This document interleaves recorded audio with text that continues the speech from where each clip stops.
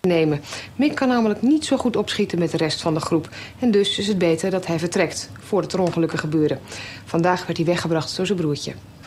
Mick werd vanmorgen door zijn broer hier naartoe gebracht, Huizen Pantera. Pantera is een opvangtehuis voor roofdieren. Daar zal de vier jaar oude Mick de komende tijd doorbrengen. De laatste tijd ging het niet meer zo goed tussen Mick en de andere groepsleden. En ook de dompteur kon het niet meer met de leeuw vinden. He was a bit too nervous for what I needed him for. You know, he was very he upset himself, upset the other lions. So it was better for me. You know, I didn't want to take a chance of him injuring himself or even uh, injuring one of my other animals. Het tehuis staat in Nijenberkoop in Friesland. Naast Mick zitten daar nog meer roofdieren te wachten op een nieuw huis. Behalve de eerste drie weken staat er nog een mooie tijd te wachten. Zo belooft de eigenaar van Pantera. Maar hij is dus eerst een tijd in quarantaine, gedurende drie weken. Daarna komt hij uh, in een van de nacht met buitenverblijven.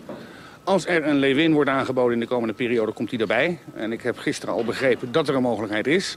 Als het meezit, heeft Mick dus binnenkort al een vriendin gevonden. Hij moet alleen wel verder zonder zijn broer, want die is terug naar Circus Rens.